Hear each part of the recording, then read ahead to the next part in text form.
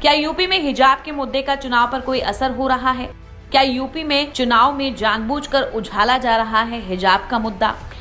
कर्नाटक से उठा हिजाब का बवंडर पूरे देश में फैल चुका है, खासकर यूपी में, जहाँ विधानसभा चुनाव की सरगर्मियाँ अपने चरम पर हैं। वोटों की गोलबंदी की कोशिशें भी जारी हैं और इसके लिए तरह तरह के चुनावी मुद्दे फिजा में उछाले जा रहे हैं। प्रदेश में पहले चरण के मतदान से ठीक पहले हिजाब के मुद्दे पर भी खूब शोर हो रहा है। लेकिन सियासी दलों ने इस मुद्दे को लेकर जिस तरह के फ़ायदे की उम्मीद करनी शुरू कर दी है, वैसा कुछ भी होता दिखाई नहीं दे रहा। दरअसल यूपी में हिजाब मुद्दे की शुरुआत अलीगढ़ से हुई है। फ़िलहाल यूनिवर्सिटी अभी भी बंद है, लेकिन इसके बावजूद यहाँ की लड़कियाँ हिजाब को लेकर विरोध प्रदर्शन कर रही हैं। छात्राओं का कहना है कि हिजाब लंबे समय से पहना जा रहा है, लेकिन इस वक्त हिजाब के नाम पर राजनीति हो रही है।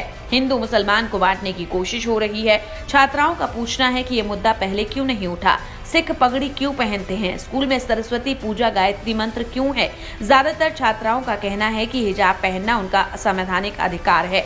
और ये अधिकार उनसे कोई नहीं छीन सकता। छात्राओं का तर्क है कि इस्लाम ने हिजाब पहनने का आदेश दिया है और संविधान देश के प्रत्येक नागरिक को अपने धर्म के अनुसार जीवन जीने का अधिकार देता है।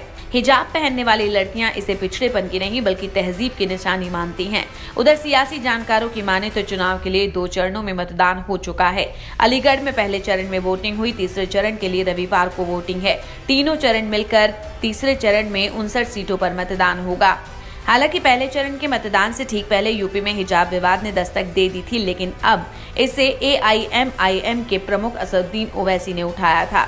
तमाम टीवी चैनलों ने इसे खूब तवज्जो दी, लेकिन पहले चरण की वोटिंग के दौरान इस मुद्दे का कोई खास असर देखने को नहीं मिला। ऐसे में आगे के चरणों में भी ये एक प्रभावी मुद्दा बनेगा, इसकी संभावना काफ़ी कम है। वोटिंग के दौरान मुस्लिम महिलाएँ और लड़कियाँ हिजाब का समर्थन करती ज़रूर नज़र आई, लेकिन इस पर कोई खास प्रतिक्रिया नहीं हुई। इंडिया न्यूज़ वायरल की रिपोर्ट